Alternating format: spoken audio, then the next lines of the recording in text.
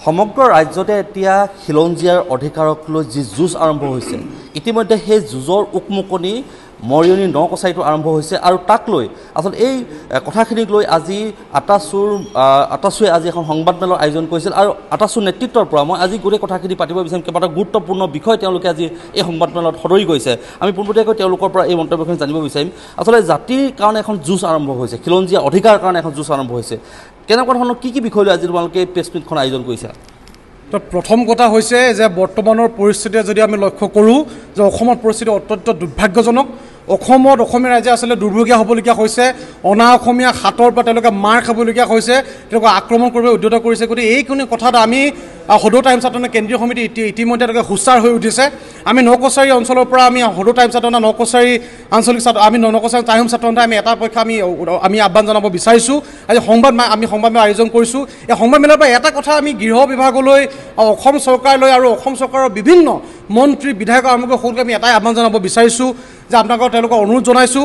যাতে অসমত অসমীয়াৰ প্ৰভুত্ব চিৰদিনে থাকিব লাগিব আৰু অসমত অসমীয়া প্ৰভুত্বৰ লগতে তেওঁলোকক যাতে কোনো ধৰণৰ আক্ৰমণৰ পৰা বলি হ'বলগীয়া নহয় সেইকাৰণে বিশেষ পদক্ষেপ গ্ৰহণ কৰিব লাগিব। আৰু সেইকাৰণে আমি নকছাবীকী ৰাইজলৈ আমি এটা আমি আহ্বান জনাব বিচাৰিছোঁ আজি আমি অনুৰোধ জনাইছোঁ যে বৰ্তমান সময়ত যদি দেখিবলৈ পাওঁ নকছাৰীত থকা যিবোৰ ব্যৱসায় প্ৰতিষ্ঠান আছে ইটা ভাটাই হওক বা বিভিন্ন ধৰণৰ ব্যৱসায়িক যিবোৰ ক্ষেত্ৰ আছে তাত দেখিবলৈ পাওঁ যে প্ৰত্যেক বছৰে গঢ়ে পাঁচশজনকৈ প্ৰতি বছৰে আচলতে ইয়ালৈ সন্দেহযুক্ত নাগৰিকৰ আগমন ঘটে। এই সন্দেহযুক্ত নাগৰিক আচলতে এই ইয়াৰ পৰা গুচি নাযায় ইয়াতে পুলিয়ে ইয়াতে ইয়াতে পোখাই পুলি হৈ আচলতে তেওঁলোকে ইয়াতে থাকি যায়। গতিকে সেইকাৰণে আমি অনুৰোধ জনাব বিচাৰিছোঁ যে নকজ থকা যিসমূহ ব্যৱসায় ক্ষেত্ৰ আছে তাৰ স্বত্বাধিকাৰীসকলে যাতে তেওঁলোকে স্বাভিমান ৰক্ষা কৰি কঠোৰ হ'লেও কিন্তু এটা পদক্ষেপ গ্ৰহণ কৰিব লাগিব যাতে সন্দেহযুক্ত নাগৰিকে যাতে ভৰি নপৰে তাৰ কাৰণে বিশেষ ব্যৱস্থা গ্ৰহণ কৰিব লাগিব। আৰু তাৰ পাছৰ পৰ্যায়ত যে ভাষা ৰক্ষাৰ ক্ষেত্ৰত বিভিন্নজনে আমাক কয় যে ভাষা ৰক্ষাৰ ক্ষেত্ৰত আমি এটা পদক্ষেপ হাতত লোৱাটো অত্যন্ত দৰকাৰী। আৰু সেইকাৰণে আমি নগছাৰীত থকা যিমানসমূহ ব্যৱসায়িক প্ৰতিষ্ঠান আছে চৰকাৰী কাৰ্যালয় আছে বা যিমানসমূহ যি আছে সকলো সংকেত ফলকসমূহ যিসমূহ চাইনবোৰ্ড আছে সেই অহা পাঁচ দিনৰ ভিতৰত যাতে অসমীয়াত বাধ্যতামূলকভাৱে লিপিবদ্ধ কৰে তাৰ বাবে নকছাৰী আমি টাইম ছাত্ৰ তেওঁলোকক অনুৰোধ জনাব বিচাৰিছোঁ। আৰু তাৰ লগতে আমি যদি চাবলৈ যাওঁ আমাৰ যদি ভূমি অধিকাৰ যদি আমাৰ হাতত নাথাকে আমাৰ হাতত আচলতে একোৱেই নাই। ভূমি অধিকাৰ য- ভূমি অধিকাৰহীনভাৱে খিলঞ্জীয়া এটা জাতি জীয়াই থাকিব কেতিয়াও নোৱাৰে। সেইকাৰণে আমি ন কছাৰীবাসী ৰাইজক আমি পুনৰবাৰ অনুৰোধ জনাব বিচাৰিছোঁ যে আপোনালোকে কেইমান কেইটামান সৰহ টকাৰ বাবে আপোনালোকৰ আজু ককাৰ দিনৰ পৰা পৈতৃক সম্পত্তিভাৱে পোৱা মাটিসমূহ কেতিয়াও অনা অসমীয়া হাতত বিক্ৰী নকৰিব। ভূমি অধিকাৰ আপোনালোকে অনা অসমীয়া হাতত কেতিয়াও জাপি নিদিব। তেওঁলোকে ইতিমধ্যে তেওঁলোকে পুঁজিপতি বণিক গোষ্ঠী হিচাপে পইচাৰ বলত তেওঁলোকে টকাৰ বলত ইতিমধ্যে ৰাইজৰ যে মাধমাৰ ঘটাইছে এই কথা প্ৰতিমান হৈছে। শিৱসাগৰ ঘটনা এটা কথাই আচলতে বুজাই দিলে যে তেওঁলোকে কেৱল ইয়াত মুনাফা অৰ্জন কৰিবৰ বাবে আহিছে তেওঁ খিলঞ্জীয়া ৰাইজৰ বাবে যে অহা নাই সেই কথা ইতিমধ্যে বুজাই দিছে। আৰু সেইকাৰণে থলুৱা নকছাৰী থলুৱা মানুহৰ ইতিমধ্যে দহ শতাংশ মাটি কিন্তু বনিয়া হাতত গ'ল।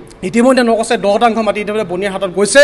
আৰু সেইকাৰণে আমি নকছাৰীত থকা যিসমূহ অনা অসমীয়া বণিক গোষ্ঠী আছে পুঁজিপটীয়া তেওঁলোকক আমি এটা কথা পুনৰবাৰ অনুৰোধ জনাইছোঁ যে আপোনালোকে নৌকছাৰী অঞ্চলত থাকি নৌকছাৰী স্বাভিমানত আঘাত আনিব পৰা কোনো কাম কৰিব বিৰত থাকিব লাগিব।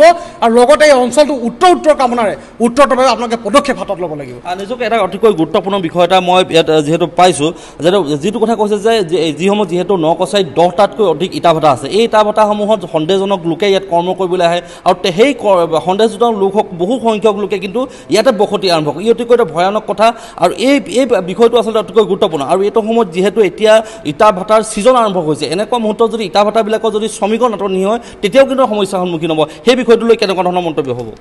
আমি সেইকাৰণে আমি এটা কথা আমি ইটা ভাটা যিসমূহ স্বত্বাধিকাৰী আছে যিসকল খিলঞ্জীয়া অসমীয়া স্বত্বাধিকাৰী তেওঁলোকক আমি এটাই কথা অনুৰোধ জনাব বিচাৰিছোঁ যে তেওঁলোকৰ ভাটাত কাম কৰিবলগীয়া বহুত মানুহ ইতিমধ্যে নকচাৰীত আছে। আমি যেতিয়া আমি দেখিবলৈ পাওঁ যে তেওঁলোকে গাড়ীয়ে গাড়ীয়ে আচলতে শেষত যেতিয়া বহিৰাগত মানুহবোৰ যেতিয়া নাহে বা তেওঁলোকে যেতিয়া পলাই যায় এই নকচাৰীৰ থলুৱা লোকে তেওঁলোকে নিজৰ উদ্যোগ চলাবলগীয়া হয়।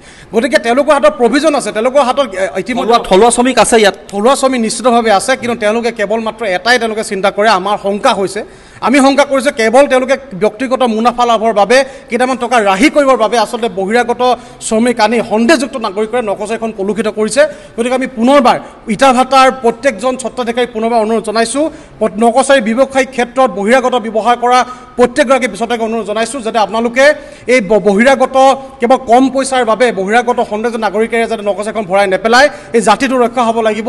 নকচাইত থকা খিলঞ্জীয়া মানুহখিনিৰ অস্তিত্বৰ কথা চিন্তা কৰি আপোনালোকে কঠোৰ পদক্ষেপ হাতত ল'ব লাগিব। নিশ্চয়কৈ আচলতে যিসকল সন্দেহজনক লোক আছে সেই সন্দেহজনক লোকসকলক কোনোপধ্যে আচলতে ইটা ভাটাত যিসমূহ ইয়াত স্থানীয় যিসমূহ ইটা ভাটাত নিয়োগ কৰাৰ পৰা বিৰত থাকিবৰ কাৰণে কিন্তু আটাচুৱে মুহূৰ্তত তেওঁলোকে দাবী জনাইছে যদি এই ধৰণৰ পদক্ষেপ যদি গ্ৰহণ নকৰে বা ইটা ভাটাৰ লোকসকলে থলুৱা লোকৰ পৰিৱৰ্তে যদি যদি নামনি অসমৰ পৰা মিয়া লোকসকলক আনি যদি ইয়াত কামত লগায় তেতিয়াহ'লে কিন্তু তেওঁলোকৰ নিজাববীয়াকৈ সিদ্ধান্ত তেওঁলোকে নিজাববীয়াকৈ ব্যৱস্থা গ্ৰহণ কৰাৰো হুংকাৰ দিছে।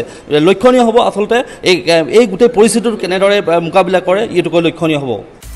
আপুনি বিচৰা বাতৰি পাব কেৱল নিউজ এইটিন এপত। নিউজ এইটিন এপ ডাউনলোড কৰিবলৈ স্কেন কৰক এই Q R code. Google play ষ্টৰতো পাব এই নিউজ এইটিন এপ